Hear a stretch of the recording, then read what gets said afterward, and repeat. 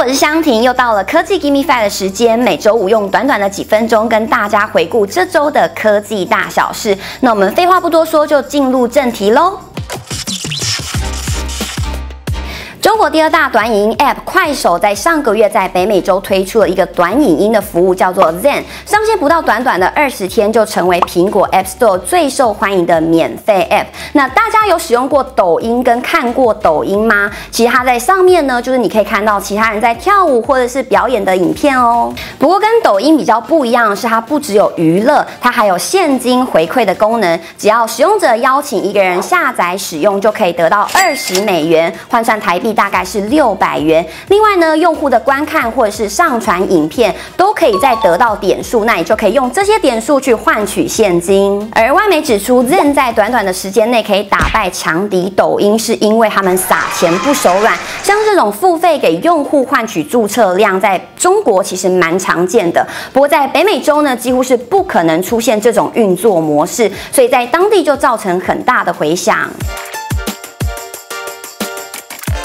HTC 释出六月十六号新品发表会的邀请函，在邀请函上面呢，你可以看到有两款手机，外界就猜测说有一款可能是中阶机，另外一款可能是五 G 手机。那随着各家的电信业者都喊出说，在七月份五 G 就准备要开台，各家的电信业者还有手机厂商都蓄势待发。从今年三月，三星就先推出了 Galaxy S20 系列，到了六月份，LG 跟 Sony 也推出了自家的五 G 旗舰。手机在下半年七月份，华硕也预计会推出两款手机，一款是 ROG Phone 3，另外一款是 Zenfone 7。而三星更是抢在苹果之前要推出 Note 20跟 Fold 2这两款手机。另外，五 G 手机当然少不了苹果啦，六点一寸的五 G iPhone 12确定在七月份的时候可以开始做量产，九月份就能跟大家做见面。那这么多款的五 G 手机，你会怎么做选择呢？赶快在底下留言跟我做分享哦！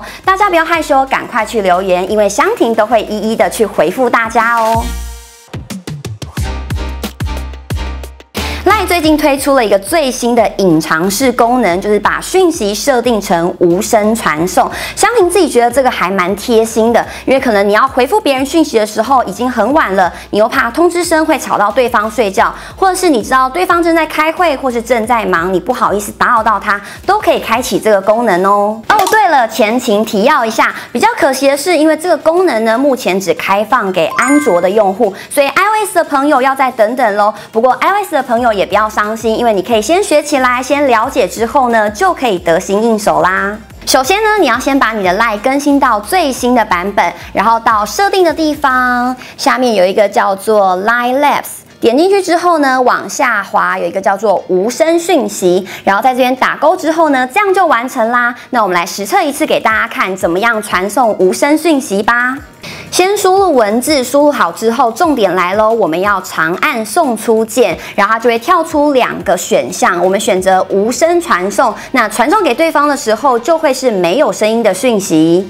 不过要特别注意的是，无声传送目前只能传送文字、贴图、照片、影片这一类的。如果你是要转传或者是要传送档案的话，目前是不可以的哦。那这样子你们有学会了吗？如果不想要打扰到对方，那就传送一个贴心的无声讯息吧。这周的科技 Gimme Five 跟大家分享了撒钱不手软的影音平台 Zen，还有各家五 G 手机的机款跟赖超贴心的无声讯息传送。那还想看什么样的资讯？呢，都可以在底下留言告诉我。那喜欢这支影片，要记得帮我按喜欢，也不要忘了每周晚间八点的科技 GameFi 都会持续的做更新哦。那我是香婷，我们下周见，拜拜。